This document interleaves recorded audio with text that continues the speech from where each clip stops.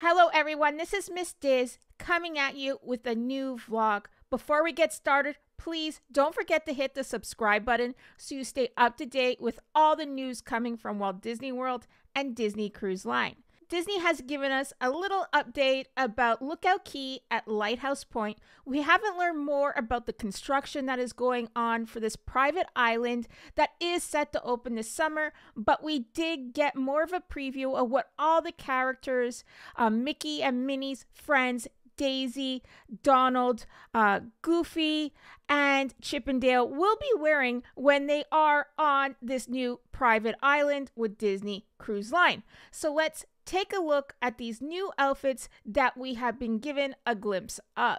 Here are our favorite friends, and they are at Lookout Cay at Lighthouse Point, and they are in their special outfits here. They are quite cute. If you do remember, we did see Mickey and Minnie in these uh, Bahamian themed actual outfits. They're inspired by obviously the culture of the island and the Junkanoo kind of aspect of the uh, Bahamas culture, the music, and you can see Minnie and Minnie in the center there, um, posing with one another. And Minnie has that green bow. Um, and Mickey is wearing kind of these nice green shorts. Now, this time in this photo, they are looking like they're in front of those private cabanas. And you can see Daisy there and Donald holding hands.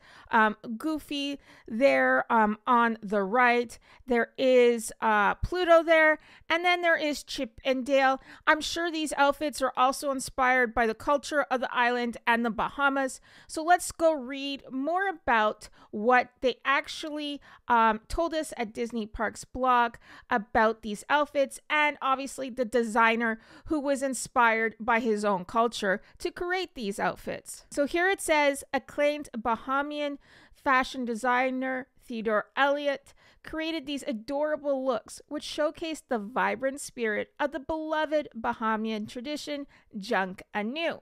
So, not only are Mickey and Minnie's outfits inspired by this, but the gang as a total, which I guess we could have probably assumed. So it says Theodore designed all eight looks with a traditional Junkanoo style in mind including eye catching details like fringe. Can you spot it in Goofy's vest? Uh, let's look at that right here. Oh, yeah, I actually can spot it. If you look very closely uh, at his red vest, it does look like there is fringe involved. Like Mickey's Mouse's conch shell shorts. Oh, yeah, I did forget. Those are conch shell shorts he's wearing there. See that design on Mickey's shorts. Then there's Minnie Mouse's pineapple purse. Let's look at that too. See, she has a pineapple purse there. And then it does say the Bahamian island inspiration also makes these vacation looks especially bright. Check out the ocean waves and sun rays in Donald Duck and Chip 'n Dale's look. Theodore does say, I envision creating a collection that not only highlighted Bahamian culture, but one that also allowed Mickey and his pals to look and feel as though they were comfortable on vacation, island style. Junkanoo Fun in the Sun is an exclusive lineup of all things Bahamian, celebrating the beauty of the Bahamas, all tailored to match the varying personalities of Mickey and his pals. Match Mickey and Minnie's mouse raffia accessories. The natural Bahamian straw handiwork is woven into these outfits with straw visors, oversized beach hats, and bucket hats on Donald and Daisy Duck, Goofy, and Chip and Dale. The adorable raffia palms on the dresses, shoes, hat brims, and shoulder straps are also a nod to this traditional Bahamian craft. Now, can we take a moment for Daisy Duck's hat and Goofy's socks?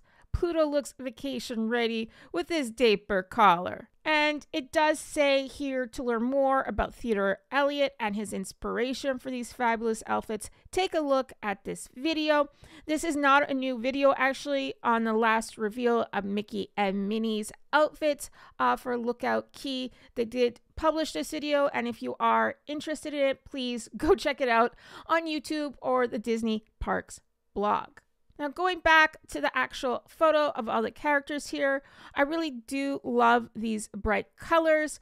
I feel like they will match Lookout Cay quite a lot.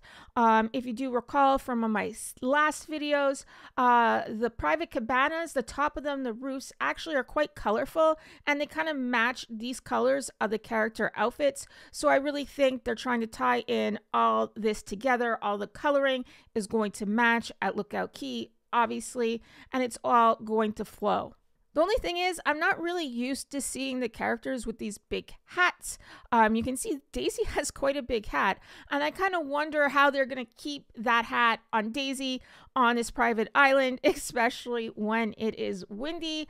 I guess it will be placed properly and um, made sure not to fall off. The same thing for Chip and Dale's hats and Goofy.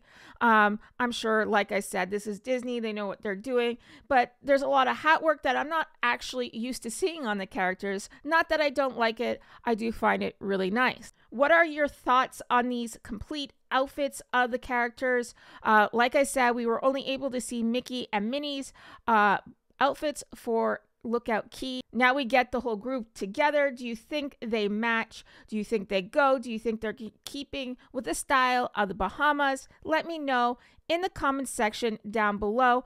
And please don't forget to subscribe to the Miss Dis channel so you don't miss any of my updates from Walt Disney World or Disney Cruise Line.